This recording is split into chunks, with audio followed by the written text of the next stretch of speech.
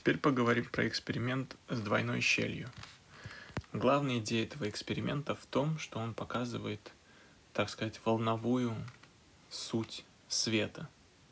Да, у вас есть э, источник света, который светит. Перед ним ставится такой экран, который пропускает только из одной дырочки этот свет. Да? И этот свет уже распространяется таким, это называется волновой фронт. То есть как будто из одной дырочки.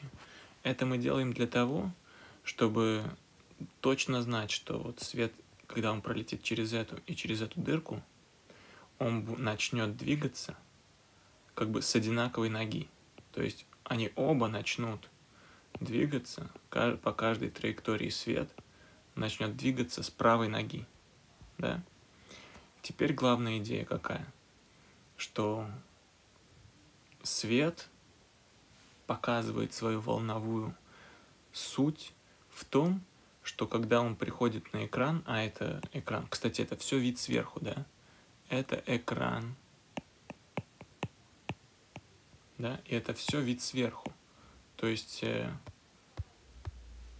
э, то есть мы смотрим на наш эксперимент сверху, а не сбоку или снизу, да.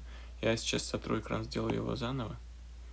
Но главная идея, что мы смотрим на все сверху. И что происходит, когда свет идет с одной ноги?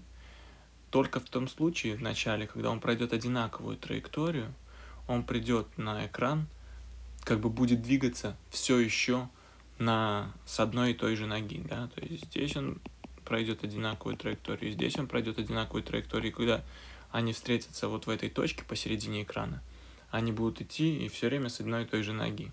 Поэтому здесь они будут усиливать друг друга. Сила.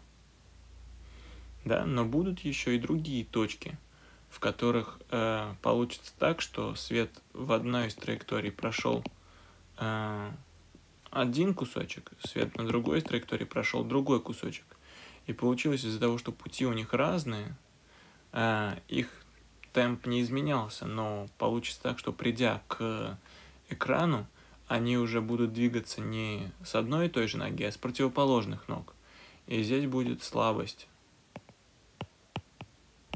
Сюда свет уже не придет, потому что он находится не в фазе сам с собой да, то есть его волна, одна волна не совпадает с другой ровно на 180 градусов, да, когда часики одной волны показывают вверх, часики другой волны показывают вниз. Про часики вы можете думать не то, что ну, в каком-то смысле можно подумать, что часики так по спирали двигаются, но главная идея, представьте, что часики у света в кармане, да, и он в кармане достает на одной траектории, проверяет, потом на другой траектории проверяет свои часы, да, Потом следующие появятся новые траектории, где опять у света получится так, что э, на одной траектории он как бы сделает на два шага больше, но эти два шага, они ничего не дадут, да, то есть на одной он сделает, например, 8 шагов, на другой 10 шагов, но все равно они придут вот сюда с одной и той же ноги, например, с правой ноги опять,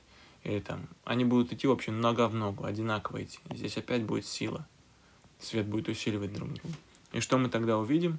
Мы увидим тогда вот такую картину. Вот здесь на экране, на этом черном, уже показано то, что мы видим. Да, вид как бы спереди.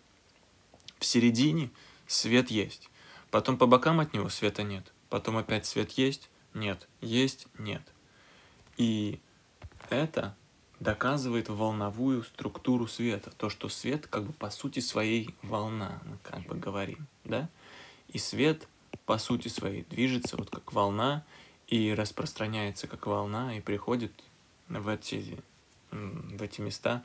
Не просто он там приходит, если бы он был частичкой, такой простой классической частичкой, то он бы и двигался а, по прямой линии. Да? То есть он бы начал двигаться просто по прямой линии. Вот сюда большинство бы прилетело, и сюда большинство бы прилетело. Здесь было бы много света, здесь было бы много света а в остальных местах ничего не было. Но такой картины мы не видим. И это как бы говорит, что свет, он не частичка в том классическом смысле, в котором про него раньше думали. Вот главная идея. Эксперимента с двойной щелью. Double slit experiment.